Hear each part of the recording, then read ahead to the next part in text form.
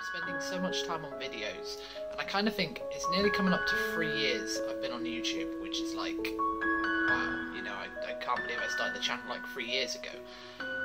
And it's just getting to that point where I'm thinking I'm I'm not really getting that many subscribers. With recent videos where I'm getting like, you know, just like three likes and a couple dislikes, which I, I don't mind, okay, because not you can't please everyone, but now I'm getting like like sometimes I've had like hundred views I've had like two comments.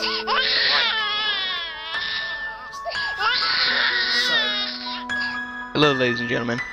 You may have seen Epicator's recent video on whether he or not he should quit YouTube, and I'll put a link down to it in the description, which I really hope you should go there and like the video. Because Epicator, you shouldn't quit YouTube, you piece of wank! Stop crying like an old baby. I have over 1,000 subscribers, and and each one of my videos get like 20 views per view, view, view per video. Do you see me crying? No, you do not. You do not see me crying. So I don't think you should cry either. You get over 100 views per most of your videos, and you have like barely 500 subscribers. So I don't think you should cry about it, big boy.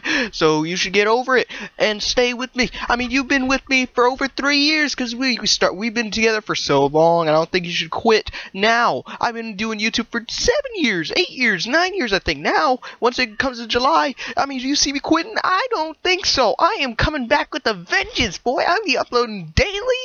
Man, stop it, Epicator. Don't you say that. It's like you're trying to commit suicide, son.